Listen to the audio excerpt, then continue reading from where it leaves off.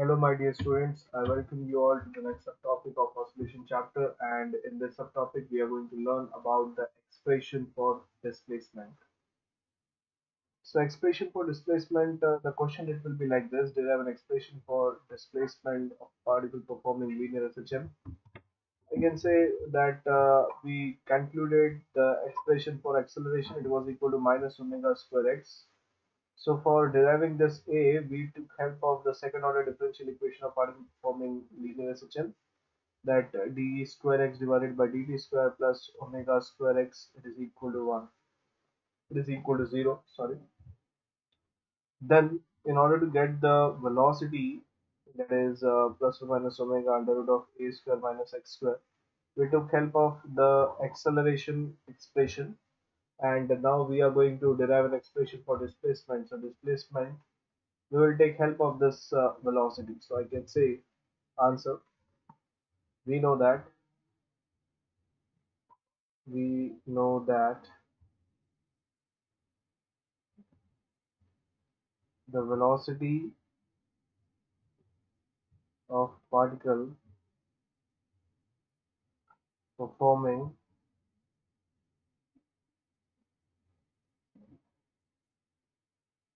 The velocity of particle performing linear SHM is given by linear SHM is given by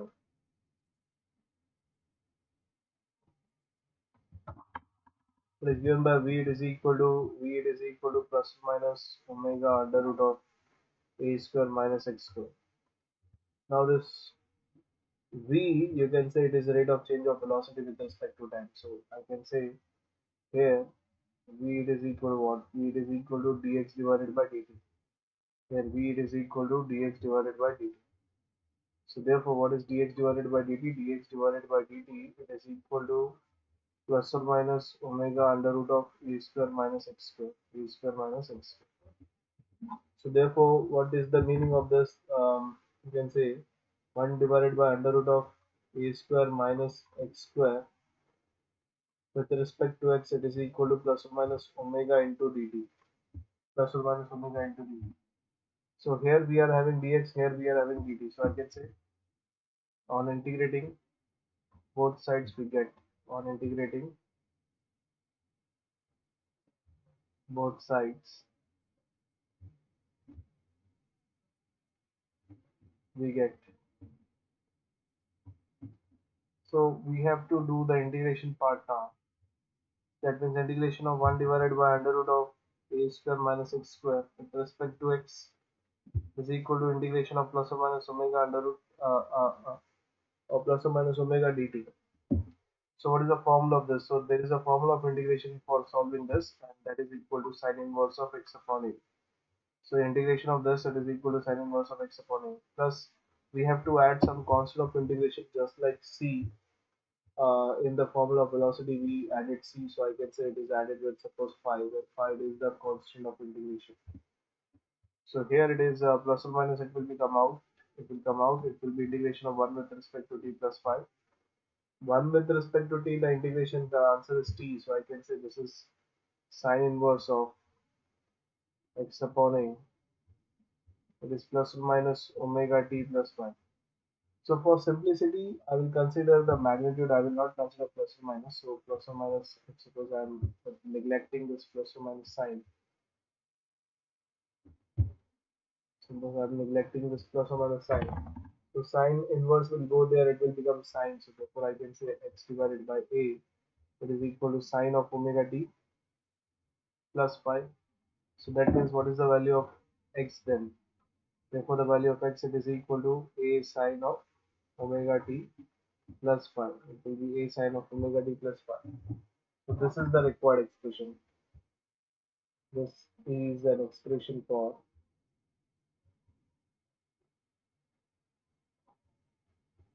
resultant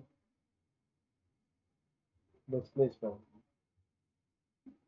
of particle performing linear SHM. For particle performing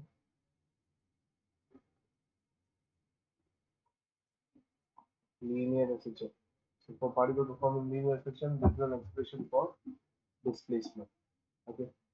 So all of you are requested to pause the video. You have to write all these things. Now,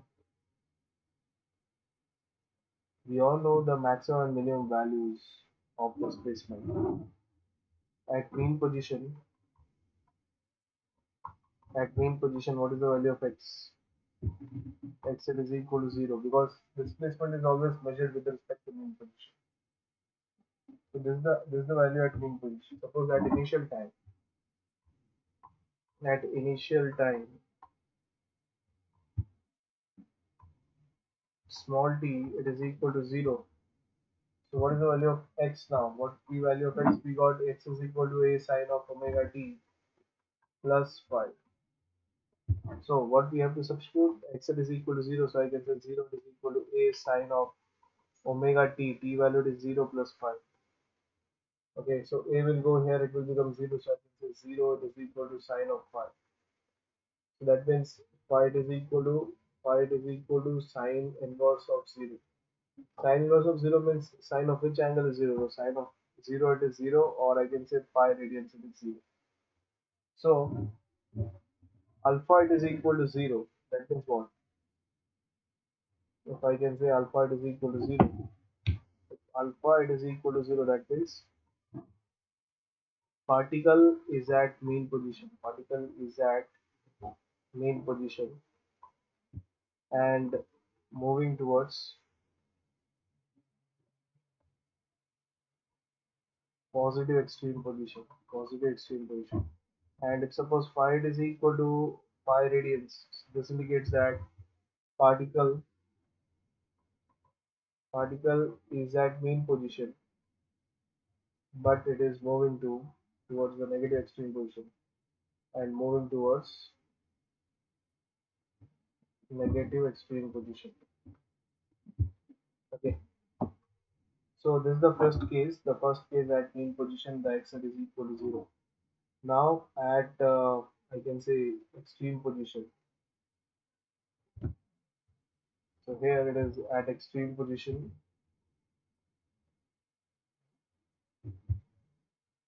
So at extreme position. X is equal to plus or minus a x is equal to plus or minus a also suppose at initial time at initial time suppose t is equal to 0 so what we have the formula of x i have x is equal to a sine of omega t plus phi a sine of omega t plus phi so therefore what is the value of x then? x is equal to plus or minus a it is equal to a sine of omega t plus phi so a and this a will get cancelled so it will become plus or minus 1 plus or minus 1 it is equal to sine of omega t plus phi so therefore, this sign will go here, it will become sine inverse, sine inverse of plus or minus 1. Now t value is also 0, so I can say it is equal to, uh, first I will write omega t plus phi. So t value is also 0, so I can say therefore phi is equal to, phi is equal to sine inverse of plus or minus 1. So here I am getting, uh, since t is equal to 0, so I'll substitute t is equal to 0. Sine inverse of 1 means sine of which angle is 1 so sine of 90 is 1 so I can say pi by 2 uh, or 3 pi by 2 it is equal to minus 1 okay so these are the radians. So if theta is equal to or if phi is equal to pi by 2 that means particle particle is starting from particle is starting from positive extreme position okay? You have to remember all these things. So if theta is equal to if suppose theta not pi if pi is equal to 3 pi by 2 that means the particle is starting from particle is starting from it is starting from negative extreme position okay? So these are the maximum and minimum values of displacement so this completes our subtopic. The next topic that we are going to learn is the explanation of amplitude. Thank you so much all of you for paying attention. Keep learning, keep smiling. Goodbye.